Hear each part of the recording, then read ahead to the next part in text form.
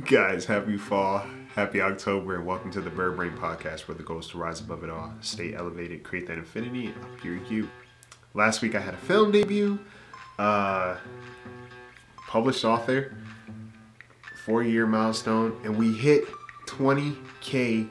Well, now we're at 20.6k downloads for the podcast, and that's all thanks to you guys.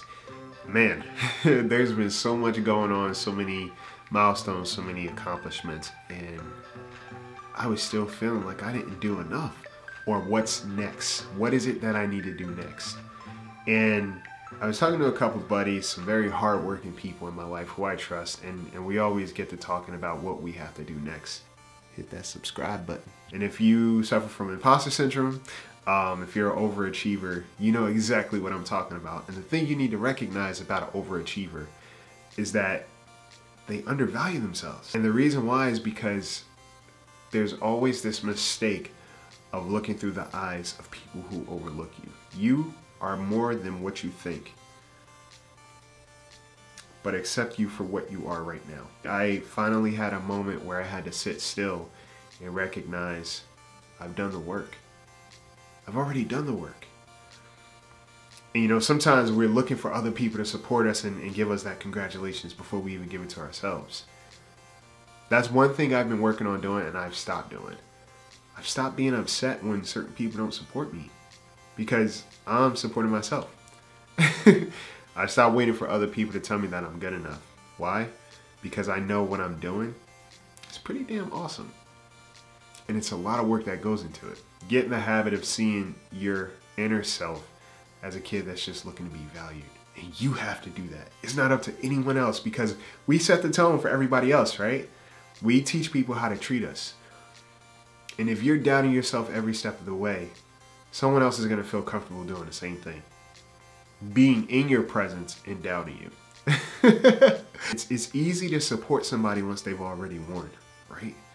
It's a lot harder to show tenacity, support, genuine effort, along someone's journey. Don't be one of those people that only believes in you once you think you've won. You're a winner every day you get up and you challenge yourself to be better. And I know it sounds very like fortune cookie, but the truth of the matter is, is anything you accomplish in life will never amount to much if everything you've done so far feels empty. Think about it. If you had a little kid that walks up to you and they have a picture and they show you this picture, do you say, oh, yeah, you can do better? What do you have next? Or do you value them in that moment and say, this is amazing? Recognition breeds repetition. If you're making the point to recognize yourself along your journey and every step of the way, you'll get in the habit of valuing yourself along your journey every step of the way.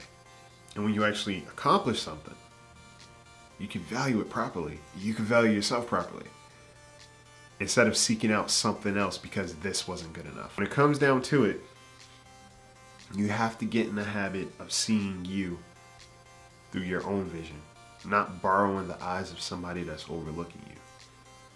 Just embrace who you are, value that, cherish all of that, embody it.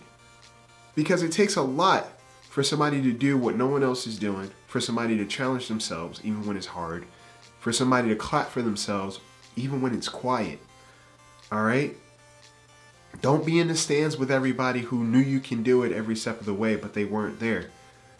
Be your damn cheerleader on the sideline every step of the way. And I promise you, once you start accepting yourself now in this moment for all the things that you do, then you'll have some appreciation for everything that comes because of it. See you now and not through the eyes of somebody that's overlooking you. If they're looking the other way, or if they're looking away from you and pretending that they don't see you, let them. You got work to do. Focus on what's in front of you. Focus on the person in the mirror. And focus on the people that have been showing up and they give you their unwavering support. Be one of those people. Don't insult the people that support you by doubting yourself, and that includes you. All right? Hey, don't forget to hit subscribe, share with your friends, share with your family, and remember it for yourself. All right? Take care of yourselves. Take care of each other.